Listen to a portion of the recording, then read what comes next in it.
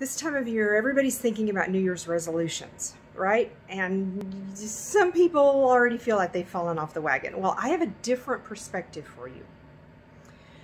This year, my commitment, I decided not to call it an intention. I started out with intention. That's not quite enough. My commitment is self-care. And really, that's scriptural. And it's what we would do. We would advise any of our friends to treat uh, their friends well.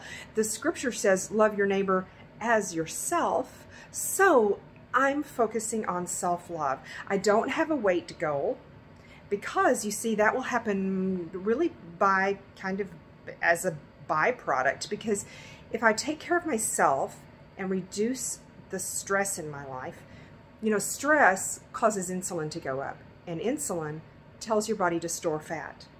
So my weight will be fine if I reduce stress. I won't have, I won't need a weight loss goal. So I'm going to go through some of the things that I'm doing for myself. I'm focusing on my health. I'm focusing on taking my health to the next level. This is the next step in my journey.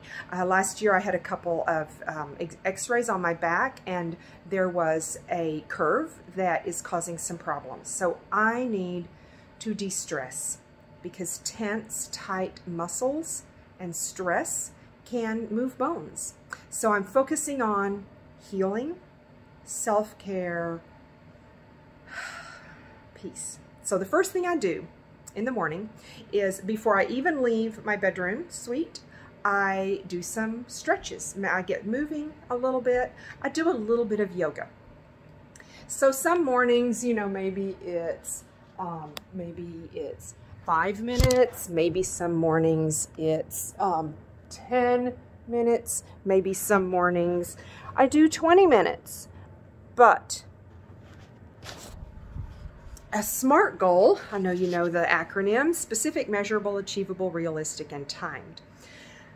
But I'm going to be gracious to myself. And I'm going to say most mornings I'm going to do some yoga. How's that? So that's the first step. Let's, I'll take you to my next. So the next step is most mornings I'm going to spend some time in my sauna and I'm and um, spending some time in meditation while I'm in the sauna. But I'm not meditating about my to-do list. I'm meditating on my healing and imagining how good it feels to be completely healthy and feel comfortable and full of energy. So here we are in my personal sauna. That's going to be the next step. Now we'll take you to the next step. So the benefit of the sauna is to detox, but it also is also very healing. That heat is healing to your cells. Well, then you're all sweaty and yucky and you really need to wash off all those toxins that you sweated out. So in our new house, I have this most amazing bathtub. So I might soak in the bathtub. Do you see how I'm giving myself grace? Or I have an option. Let me see if I can get around here and show you the other thing that our house has, that amazing shower head. And the lights turn colors. When the water is cold, they're blue. Then they get green, then they get red. And it is so calming. I never would have gotten in that if my husband hadn't fallen in love with it.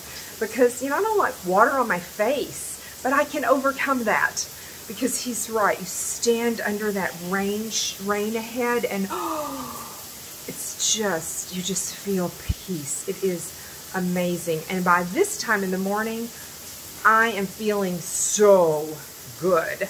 Let me show you another thing I'll be doing for self-care. We're so blessed with the house that we bought. You may know that we moved from Grapevine to Georgetown. And ooh, the sun is in my eyes. That's another thing I'm doing early in the morning, make my coffee, I come outside to get some sunshine. When, you when the sun hits your skin, it completely changes your hormones for the whole day and the night. And then we have this lovely fountain. I don't know if I can put over here and show you the fountain. So, most days, you see, I'm being gracious again. Honestly, pretty much every day, I will come spend at least five minutes sitting here in the garden beside the sauna, relaxing. You know, when you eat lunch in a relaxed state, it allows your body to absorb the nutrients better. So many days I just come sit outside to have lunch, and that doesn't take any time. It just incorporates some self care because these are things that make me feel good and calm and less stressed. I would love to hear about your resolutions, your commitments, um, what your purposes and goals and intentions are this year, or share with me your tips about self care because I would love to learn with you and walk the journey of health with you.